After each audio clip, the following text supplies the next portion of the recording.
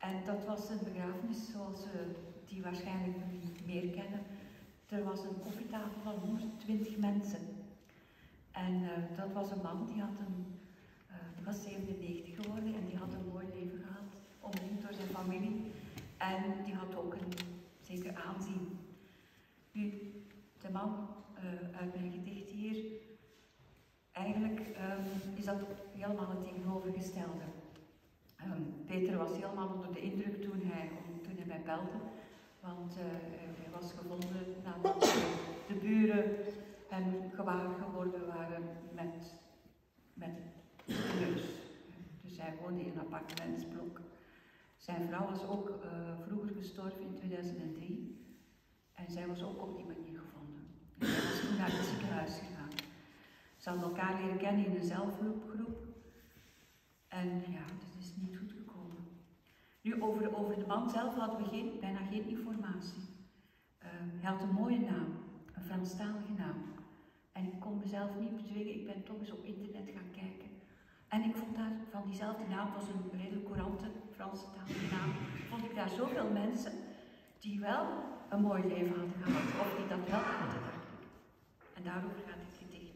We hebben er ook vaak over gesproken uh, in ons groepje. Uh, kun je, hoe, hoe, zit het met die Kunnen we de voornaam gebruiken? Wat kunnen we, nee, we kunnen geen namen gebruiken. Geen naam, initiaal. Je naam klinkt als een klok. Een krachtige aanzet met een golvende echo. Op het internet ben je een andere plaats van aanzien. Een professor in de scheikunde in Canada. Een professor in de muzikologie aan de Universiteit van Tours. Je hebt een meubelmakerij tussen Amiens en Arras. En een garage in het departement Nord-Pas de Calais. Je verhuurt samen met je vrouw een vakantiehuis in Picardie. Je bent een dokter in Reims.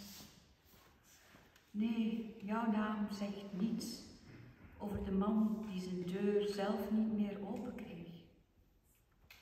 De man zonder verzoek, zonder bezoek, zonder zichzelf. Een zonderling nam bezit van je leven en verstomde je naam. Straks, buiten de lijnen van dit gedicht, klinkt je naam voluit. In klanken van mensenstem luiden wij de klok voor het springtij van je eenzaamheid.